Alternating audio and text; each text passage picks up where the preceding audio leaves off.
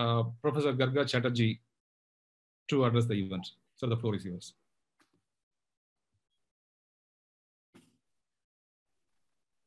Thank you. Can, am I audible? Yep. So first of all, I would like to uh, thank the Dravidian Professionals Forum for uh, inviting me.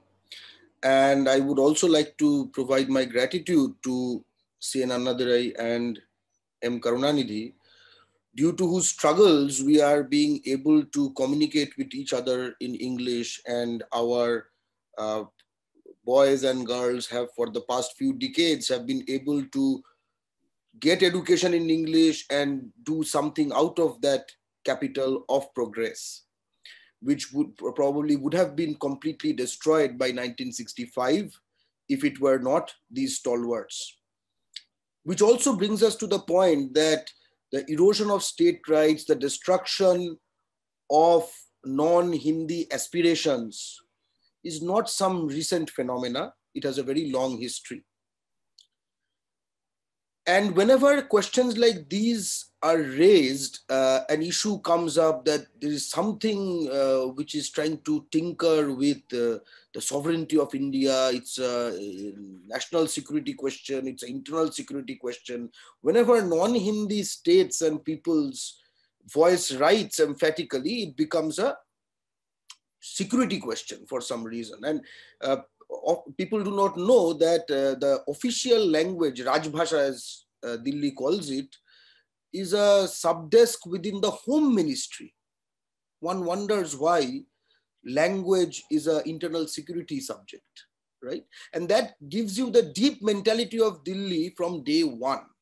From day one, I would like to say. We might be observing its most uh, purulent and cancerous form in the BJP, I would like to name it at present, but it has been long time in the offing. However, C.N. Annadurai provided us with a, with a more real definition of sovereignty. Sovereignty does not uh, lie in Delhi. It's not uh, something which is uh, place-centric.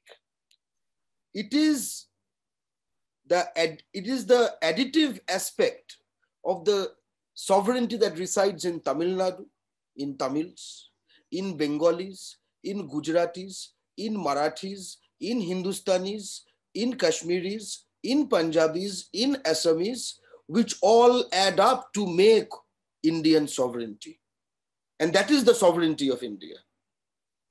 It is not something which is unitary, as uh, my esteemed speakers before me have long said. However, legally it might be said that India did not form through states coming together, and that's and that uh, makes us different, at, le- at least in legal terms, from the U.S. Constitution, right, where states came together and signed on a document that we are forming a United States of India, while the first line of the Indian Constitution, it's a very smart line, it says India, that is Bharat, will be a union of states will suggest that India is preformed while the states are not, right? The states are formed due to public pressure on linguistic basis. We might, we, we have named the state as Bangla, we have named the state as Tamil Nadu, but the state per se in the constitution does not mean Tamil country or Bangla. We have to get this interesting difference. We have named it as such. State is a formation which comes through, and through the instrument of Article 1. It does not say which states. In fact, there is a certain uh, looking away as if before 15th August 1947 or 26 January 1950, Bengal did not exist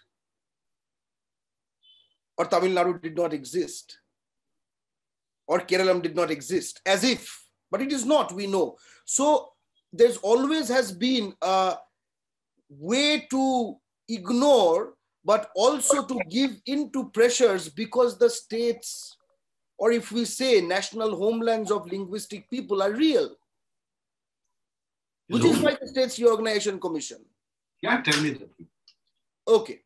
So now, if we go on to a very different aspect of it, all, all of the things we are talking about, federalism, constitution, etc., these were formed by members of the Constituent Assembly. Okay. Uh, who was the Constituent Assembly members elected by? By state assemblies. It was a Rajya Sabha. Yeah. Jawhar Sircar-da is here, who is a, a recent inductee into the Rajya Sabha from Bengal. And he represents the interest of states and the interest of West Bengal in the Council of States. That's the role, right? So he was elected through an indirect election where members of the Legislative Assembly of Bangla voted him. That's the idea. Exactly the same procedure was followed to get what we call the Constituent Assembly. There was no so-called union election because the union was British. We must remember that the states became autonomous in 1937. What happened in 47 was the transfer of Delhi power. We had our powers in 1937, right? Which is why when we are trying to form an assembly of people who will decide for the future of India, it is the representatives of the states who formed the Constituent Assembly. People might be interested to know that B.R. Ambedkar, who was a member of this Constituent Assembly, was elected from Bengal indirectly. He was a member of the Constituent Assembly from Bengal. So the states actually got together to form India historically. However, legalistically, it takes a different turn because of the wording of the constitution. Because whenever you have the wording of the constitution, you typically have, if you imagine in 1946, 47, when these elections are happening through limited electorate, you, and with the uh, removal of East Bengal and the Pakistan, uh, West Pakistan areas of that time, you basically have a rich upper caste, Hindi speaking dominated constituent assembly. So we have the document, we have a document that could be passed by such a body. So we are all legatees of that kind of formation. I'm going into this history because this is very important. We must remember that whatever the problems we are talking about and have been talked about by earlier uh, speakers, let's say Article 356, which destroys something like that, or the idea of concurrent list. This is a unique thing, by the way. USA is a federation, United States, it has no concurrent list. There is no such thing. So why does a concurrent list exist in the first place? We must remember this. It's according to the Government of India Act 1935. What's happening in 1935? The British are deciding that brown people like us are clamoring too much. They should get some level of self-government. However, they should not be able to go against our interest. So we should, we must have a mechanism to make sure British interest is served, is protected, if the natives decide not to protect the British, but to protect themselves, which is what they are, which is why Article 356, which is why the governor, which is why the concurrent list. The kernel of this idea was always there. I can tell you in the uh, pre-independence uh, days, Akashbani and Akashbani, uh, all of these, uh, the radio, right? TV wasn't uh, in vogue in India that much. And then later Doordarshan. There are large archives of our greatest, Bengal's greatest poets and uh, literateurs, etc. All these archives have been moved to Delhi. None of our children, for, for, to people for whom it has no value, and for people like us, for whom it means the world, we don't have access to it. And the final crowning glory was seen this 14th September when in Doordarshan Bangla, a one hour discussion was held using union government survey, uh, servants serving in West Bengal in Hindi under the topic Raj Bhasha and Rashtrabad. Official language and nationalism, as they call it, nationalism in Hindi. So we can understand the erosion that has happened. This is just a small example. And that has been the trend since 1947. We often hear this excuse in 47, the situation was not right. There were dissensions here, dissensions there, etc., etc., etc. Right? But since then to now, one cannot give a single instance where rights have moved from union to state. Not a single instance.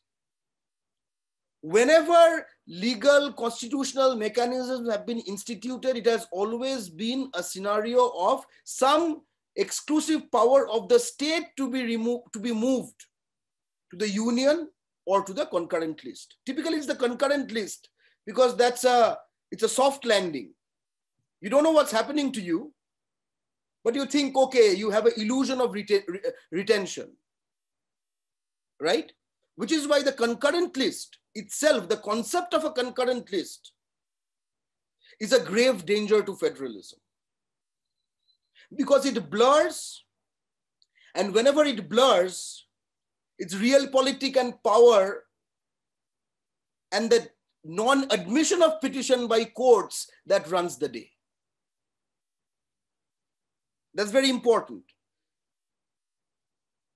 Very rarely have we seen the Supreme Court of India in a question which pits the union against the state on a question of constitution, not on random issues of the Supreme Court having sided with the state.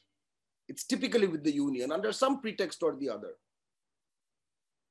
So much so, even when the NEET was rendered unconstitutional by a person no less than the Chief Justice of India, a Bengali Chief Justice, if I may add, Altamas Kabir. And remember, when did he do it? On the last day of his service. He also knew the amount of lateral and otherwise institutional pressure for a CJI to actually undercut a union scheme of this kind. So he kept the judgment reserved for his last day and he delivered and then he was not the CJI anymore. He could not be held, right? A CJI's decision was recalled and reversed that shows that the attack against federalism, the attack against state autonomy, the attack of Delhi establishment against these things is not something which happens randomly or, or, or is happening with the BJP. Remember, uh, NEET started in 2013. BJP is the most virulent form of this tendency. For example, Mr. Panneerselvan talked about the cooperatives. It's a very grave assault, but it's not very apparent. The fact that it is grave but not apparent tells us the, the mechanisms and the minds at work to make something like this. We are not fighting against random policy questions. We are fighting against an institutionalized force which wants to destroy Indian pluralism. We have to, which is why a forum like this where thinking people, especially of non-Hindi states come, can get together. I'll mention why I say non-Hindi states. It's not a question of being divisive, but it's a question of reality. So as I said, residual powers in the union, very importantly, are with the union. Now remember, what are residual powers? These are things not mentioned in the union list or the state list or the concurrent list. What are things not mentioned? Things which could not be thought at that point of time. That are, those are the things that are not mentioned, right? What does that mean? That means the future. So as time goes on, the residual powers will become the powers. Our children will live in a different world and very different things will come up. And that all will, all will owned by Delhi. Remember this. It's a very important thing. So concurrent list has to go. Residual powers have to be with states. It's a problem. I know it is not fashionable to take the example of Pakistan. Okay. So let me take the example of USA. Because both have the co concept of residual powers. Things unforeseen, right? From the very start, USA's residual powers lies with the states. And Pakistan, in the last decade, through a constitutional amendment, gave the residual powers to the state. I mentioned Pakistan because it is also born out of the Government of India Act 1935, 37, the, the, the same sequence of basic structure. That is why. But let me take you back to a much farther, uh, longer uh, story. I'll be fast, I know, because I don't have too much time. In 1757, when the East India Company destroyed Shirajuddaulah, the, the autonomous Nawab of Bengal, and took over. What did it? What did the East India Company take over? Because the person who wanted to be the Nawab in place of Shirajuddaulah, Mir Jafar, a name which is used for a betrayer to for Bengal into this day, like Bibhishan, for example, right? So he became the Nawab. So what did the British uh, East India Company own then? It's very important. This period is called diarchy, which means all the things which require money, and if you don't do it, the public will be angry, that is with the Nawab. While extracting money, this function is with the East India Company. This is called diarchy or double rule, which means police is with the Nawab. But the money to provide for the police Nawab has to decide because the main money extraction is with the East India Company. I think you can see the continuity of that very basic system to this day. Today, the basic functions of the public to get a people running, to build it, to do everything, states are responsible. But the extraction of money, Delhi has the powers. It's no different. And they know it. The Finance Commission is a very interesting example. Finance Commission has various parameters, okay, except one. How much, let's say how much Jawhar Babu will get paid, how much Mr. Gandhi will get paid, how much Mr. Dhanidharan will get paid, how much Mr. Panneerselvan will get paid or Mr. Chatterjee will get paid, will depend on many things, except how much you actually earn. Except how much you actually earn. The amount of revenue that a state itself produces, that is not a parameter in the Finance Commission. Think about it. What does it mean? If you look at the various parameters willy-nilly, these are ways to make cash transfer from non-Hindi states to Hindi states. Make that, let me state that very clearly. Which is why, which is why when Mr. Panneerselvan very rightly says that all states should get together, let me make the point there is very little incentive for most Hindi states to get together on this because the central money does not disappear. It gets re injected into Hindi states. All the money of any union government has two heads. If you think about it, tender or salary, right? Salary includes pension and every other thing, and tender includes all kinds of procurement, etc. Now look at who gets those jobs and who gets those tenders, and where all those tender plus job projects are sanctioned so if there is a greater equitable distribution, equitable not based on equality, but based on what I produced, what is my rightful share? then I do not think many of the states of the north will go with the states of the west and the south and the east. And that's a structural problem. That's a huge structural problem. The Finance Commission this time also has included, we are talking about delimitation in 2026. The Finance Commission has basically instituted the basic logic of decommission, uh, uh, uh, uh delimitation willy-nilly by taking into account 2011 numbers. It has started, whether we like it or not. And because it's a union government thing, we cannot say anything. We will just see. A, a, a member of the finance commission from West Bengal is now an MLA from the, of the BJP in West Bengal. So we also understand it is that kind of Bengali who will be in the finance commission. How will he stand up for Bengal? If Cho Ramaswamy was the uh, uh, some representative of Tamil Nadu in Delhi, how would he have stood up for Tamil Nadu, for example? Right? It, it's that kind of a thing. Now, if we, the NEET is a very similar question, and people have died, people have committed suicide. People might ask, why have people not committed suicide in Bengal? They are in the same scenario.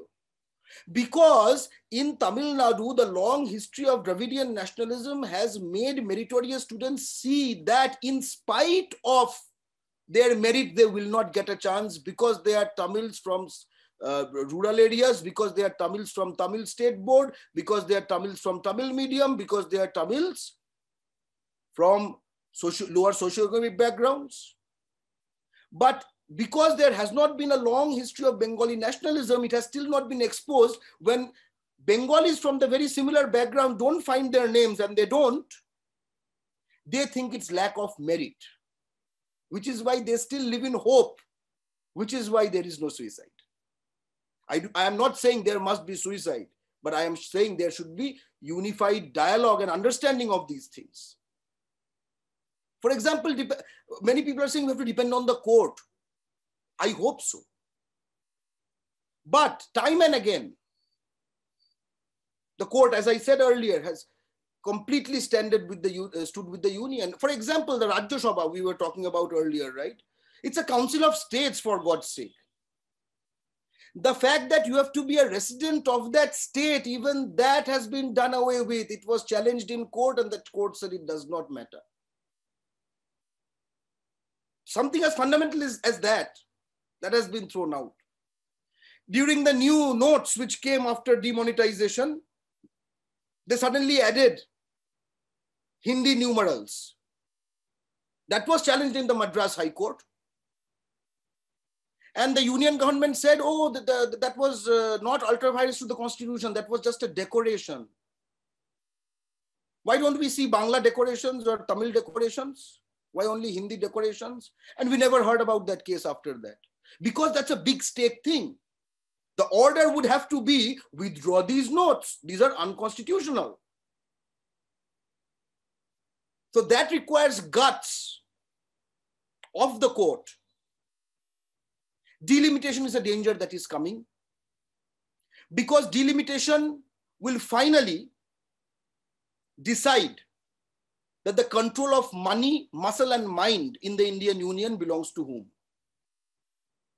there will be a unitary control and we know which states will gain. Bengal has the lowest fertility rate in the Indian Union among the major states. It's 1.6 now. Our neighbors to the west, Bihar, is 3.4. It is not only a question of delimitation where we are bound to lose, you are bound to lose, but the fact that our voices will not matter anymore. You can sweep Bengal. You can sweep Tamil Nadu. You can sweep Kerala. But it doesn't matter here. As we say in Bangla, kachkola, which means something like a plantain, you know, you will get nothing. And this is especially virulent given that a party of Hindi imperialism, as they say, Hindi, Hindu, Hindustan, right? Hindi is part of that question. They want a, this Indian Union is not a majoritarian union. It's a union of nationalities, linguistic nationalities. They want to, where every nationality is a minority, by the way. They want it, want to make it a majoritarian union, a Hindi majority country. Remember, the word country or nation does not occur in the Indian constitution. We will finally become a country, but the country will not belong to us. It's a very dangerous question. I mentioned demographic change. These are things which are often not said. It's not as if Bengalis are increasing in Tamil Nadu and becoming MLAs and MPs. It's not as if Tamils are increasing in Haryana and becoming, you know, MLAs and MPs. We know what's going on, and we know where BJP vote banks lie. We must say this very clearly that it is a demographic assault, it is a financial assault, it is an assault in every field. As I said, it's a control of money, as many have described. It's a control of muscle. Who gets into the Indian Army and the CRPF and the BSF? We all want to be part of it. We pay for it, for God's sake, much more than Hindi states. But the language is somebody's mother language and somebody's learned language. Why? And then minds. Remember, NEET is not about medical entrance. It's about the aspirations of lakhs of students who will all tend towards that so that state boards will be destroyed. So any kind of professional of the future will be from families or will be from schools who in geography in Tamil Nadu will not learn about the districts of Tamil Nadu and Bengal will not learn about the seasons of Bengal. They want to create that rootless class. Indian and nothing but Indian, whatever that means. And those will control media, will control all professionals, will control all bureaucracy, will control all courts, will control all voice.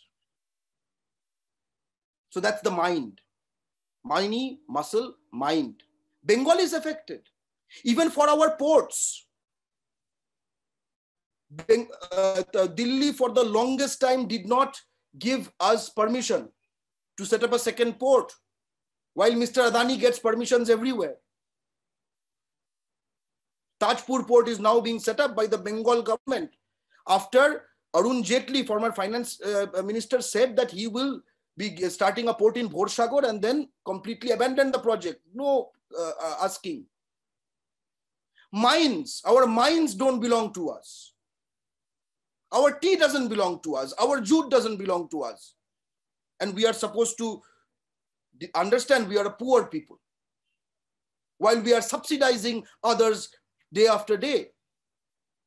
As Mr. Selvam said, that there cannot be too much inequity between you you cannot extract a people to subsidize others for a very long time because you have higher numbers and higher tfr and almost exclusive rights of people having guns paid by union money right from freight, freight equalization, this thing has started. Even for FDI.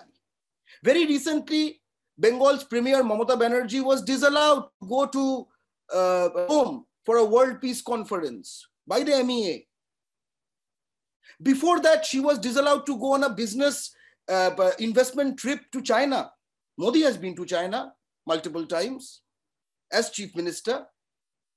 So there, it's, there, it's a multi-pronged attack even certain MOUs between Chinese companies and Bengal in, to invest in Bengal, including making buses, all were cancelled, national security. Guess where a $1 billion China investment park is in India? Gujarat. There is no national security. Three things which have been mentioned and which was the last formula to, man, to maintain what they call about Akhondo Bharat was the cabinet mission plan, where it clearly said external affairs, external defense, and currency. These should remain with the center, whatever that is, or the union. And that is the plan for the future. And that is the plan for the future. Multiple people have voiced it. Mamata Banerjee has voiced it. KCR of Telangana has voiced it. M. Karunanidhi has multiple times vo voiced it. C. N. Annadurai has vo voiced it. The committee formed by the first DMK government, it voiced it. So we have to be an indivisible union of indivisible states.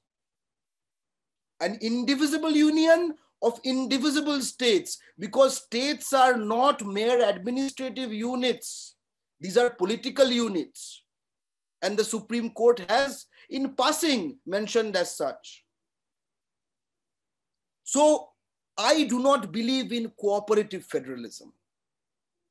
I believe in struct a structural federation where the rights of the union and the rights of the state are completely defined and completely non-overlapping so that whether Bengal gets Bengal's due in Bengal's soil and Bengal's resources does not depend on whether I can keep Dubeji or Choubeji happy in Delhi. Thank you.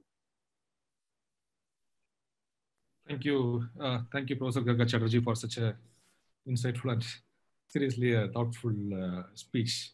Of course, uh, in your line of uh, thinking, concurrent list has to go and uh, residual power should vest with the states to make federalism truly meaningful.